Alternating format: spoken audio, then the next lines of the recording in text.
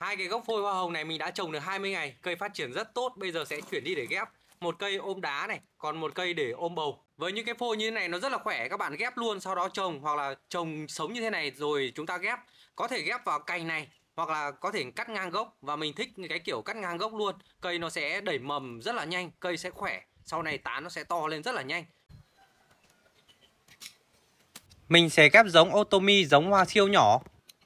Dùng dao tách phần vỏ Ghép theo cách này tách vỏ rất là đơn giản. Vát phần cành ghép hình chữ V. Sau đó lắp phần cành ghép vào phần gốc ghép. Các bạn nên ghép hai bên gốc, nó sẽ phát triển tán đều và to nhanh, sum tán nhanh hơn. Sau đó dùng băng ghép quấn chặt phần gốc ghép.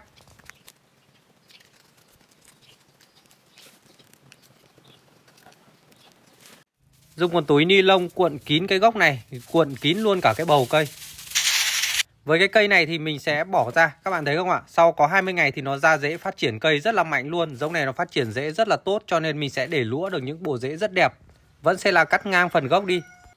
Tiếp tục làm các bước như gốc ban đầu.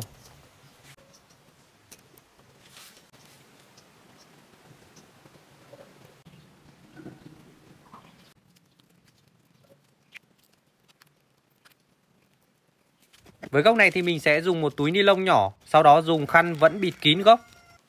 Vườn của mình vẫn tiếp tục đánh phôi để cho tất cả các bạn sưu tầm. Những cái phôi nhỏ thì giá không bằng một bát phở Còn những phôi to đẹp như thế này thì các bạn nhanh tay inbox cho mình nhé Cây cảnh của bác đẹp quá nhỉ? Mãi đến hôm nay chú mới thấy nó đẹp. Mấy cây này tôi chơi cũng dăm năm rồi đấy. Khi còn công tác Em bận tối ngày Thời gian đâu mà ngắm cây mới chả ngắm cảnh